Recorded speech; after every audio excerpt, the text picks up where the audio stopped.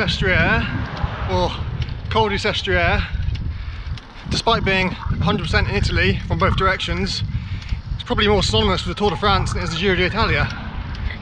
It does feature in the Giro d'Italia. I think it's been in four or five times. First time way back in 1911, which is one of the first iterations of the Giro. But yeah, it's been in more than twice as many times in the Tour itself. So, the Tour has crested the Col four or five times.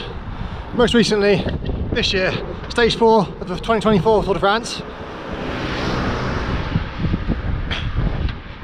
We started in Pinerolo, which is where I've started today, and finished on the mighty Col de Galibier in the Valloire. It's also hosted, I think, three or four stage finishes and three or four stage departs as well, independently. So yeah, in total, that's it.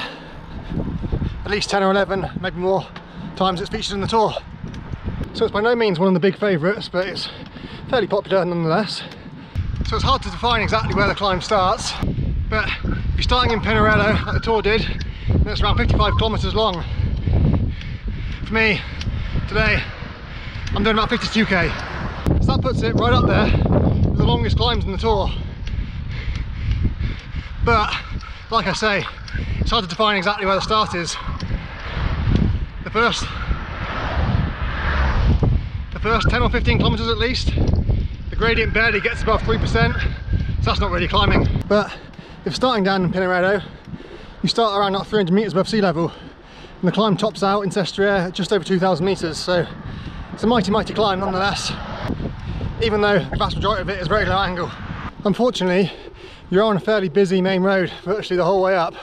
It's not the most enjoyable of rides. You can start out on a really nice cycle lane from Pinerolo for the first five or six kilometres or so, but it very quickly becomes a gravel track and you have to join the main road from then on in. If you knew where you're going or you have more time to explore, you could dive off into all the various small towns and villages, but you've been making the rides very stop-start and longer, and I haven't got time today.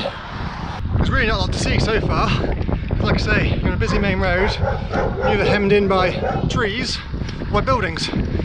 But I'm sure the views improve at some point because 2,000 metres is pretty high. To get up there somehow.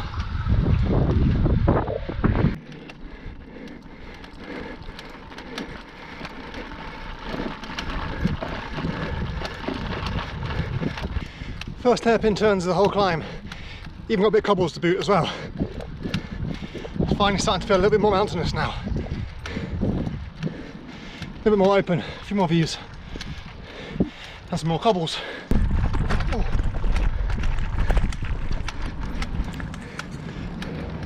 So this little town with that cobbled hairpin is Fenestrelle, or something along those lines.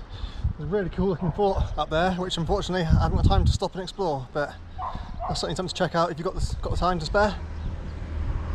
So from Fenestrelle eh, it's 20 kilometres to go, so well over halfway now in terms of distance, but still most of the vertical height to get left to do. Don't know what height we're at yet, but still not really done much in the way of climbing. So, bit of trivia for you.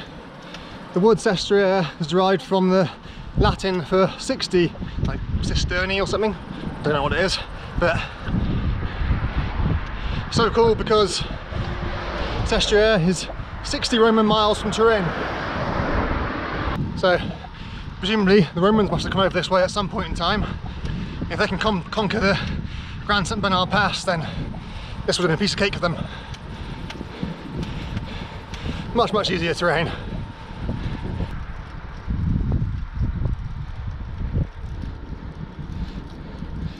Definitely feeling much more like we're on a mountain road now. Very alpine now.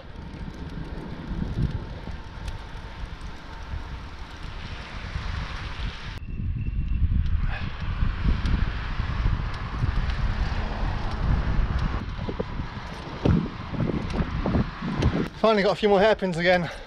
I think this last steep stretch before the plateau up to Sestriere. The great thing about hairpins, other than the fact you get a little rest on the corner at the apex, usually, is the fact you get a nice view back down from where you've come from, which has been no views so far on this ride because it's just straight up the valley.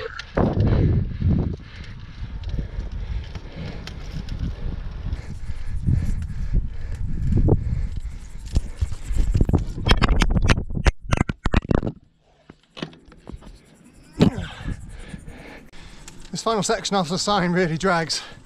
You think you're nearly there, but it's actually probably still four or five kilometres from that sign. It looks deceptively close, but it's not. This time you really are nearly there. That's the edge of the town right now.